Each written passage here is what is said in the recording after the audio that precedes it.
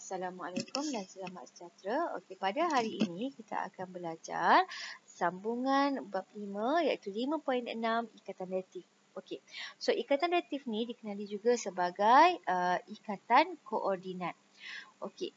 Dan dia merupakan adalah dia adalah sejenis ikatan kovalen di antara dua atom, okey, iaitu kedua-dua elektron tu berasal daripada satu atom sahaja.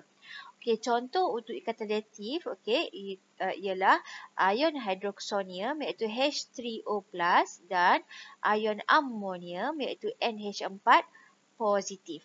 Okey. Dan okey kita akan tengok eh contoh untuk ion hidroksonium, ion hidroksonium macam mana dia membentuk ikatan reaktif tu.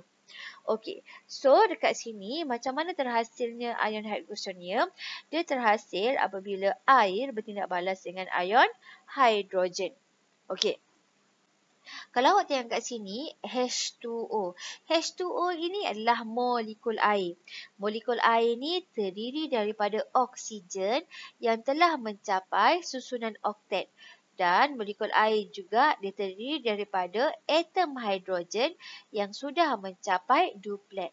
Kalau awak tengok pada atom oksigen dekat sini, ada titik dua dekat atas, ada titik dua dekat bawah kan? Titik itu mewakili apa? Titik ini adalah mewakili elektron. Okey, elektron. Dua elektron ini kita panggil elektron yang bebas. Okey, dia tidak membuat ikatan dengan mana-mana uh, atom lah dengan mana-mana atom.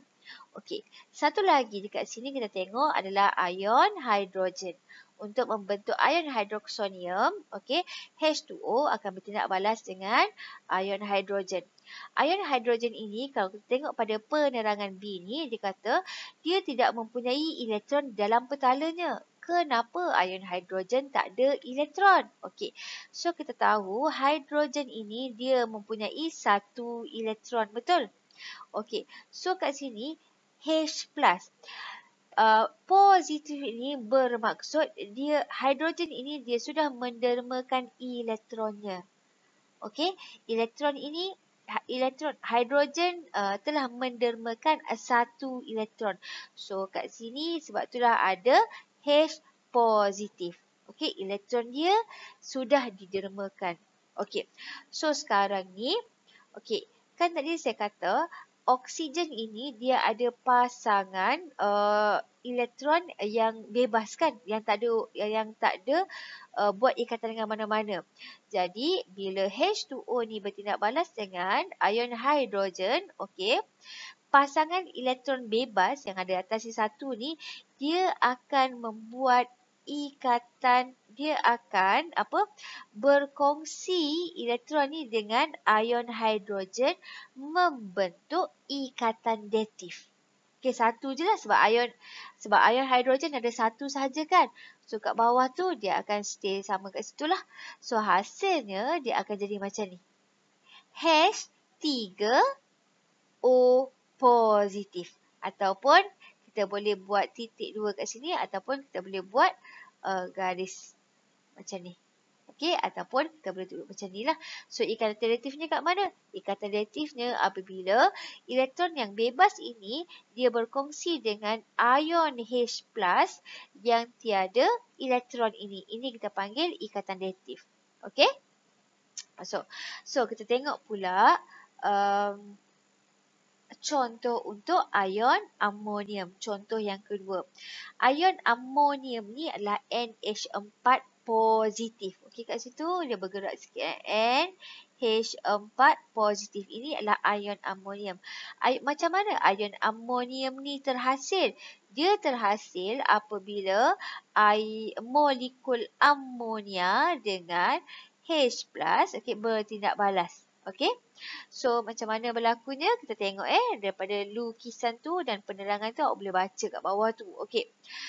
Molekul amonia kita tengok kat sini ini molekul amonia dia terdiri daripada satu uh, atom nitrogen yang uh, sudah mencapai susunan elektron yang oktet dan stabil dan dia ada tiga atom hidrogen yang sudah mencapai uh, duplet lah, elektron duplet yang stabil.